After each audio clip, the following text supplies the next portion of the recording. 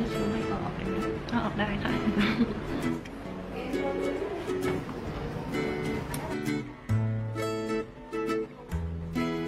ฮัลโหลค่ะทุกคนก็เดี๋ยววันนี้นะคะถึงจะมาทำหน้านะก็เดี๋ยวจะมาหาหมอก่อนนะคะ มาดูว่าหน้าเราจะต้องทำอะไรบ้างนะแต่ว่าหลักๆก็น่าจะเป็นพวก IPL นะคะเพราะว่า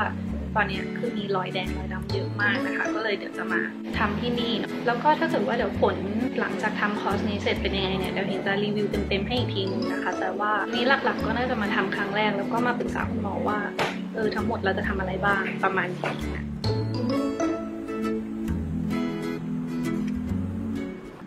ขั้นตอนแรกนะคะก็จะเป็นการทำความสะอาดผิวหน้านะคะลบพวกสมารต่างๆออกให้หม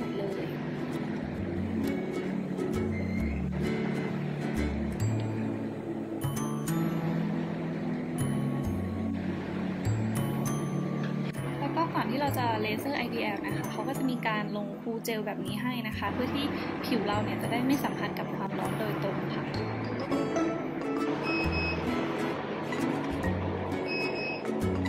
เป็นไงบ้างคะโอเค ได้อยู่เนาะถ้าตรงไหนรู้สึกร้อนบอกนะคะ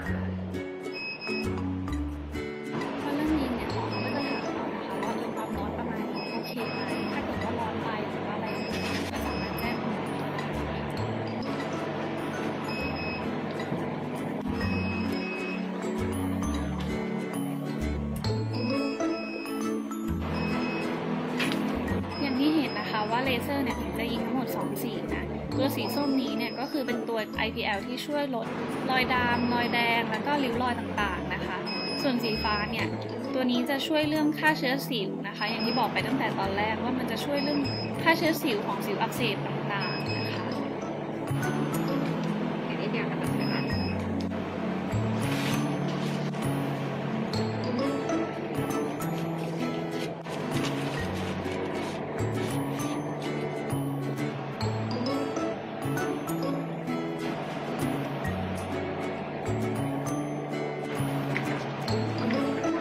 ก็เมื่อกี้นะคะทำ IPL เสร็จแล้วนะคะ